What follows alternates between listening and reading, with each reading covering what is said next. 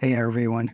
Just like our affordable restaurant series for Windsor and Detroit, in today's video, I'll be bringing you 7 affordable places to eat in Tecumseh, Ontario. I'm Dino Kasparis, your eXp real estate agent. Just to let you know, there are no chains or fine dining on this list. The focus is on food establishments that are local and are in the $1 to $2 sign price range.